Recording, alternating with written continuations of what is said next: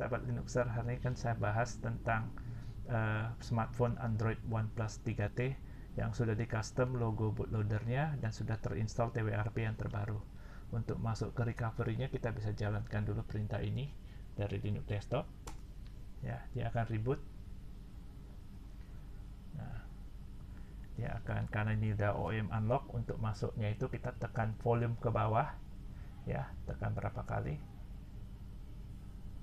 sampai dia ke posisi recovery. Kita tekan uh, tombol power. Ya.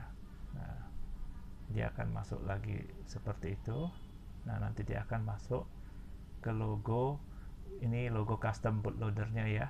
Nah ini sudah masuk TWRP yang paling baru di 3.52 ya. Nah ini bisa dipakai untuk install custom ROM uh, dan bisa pasang juga untuk Linux OS oke itu aja review dari saya. Terima kasih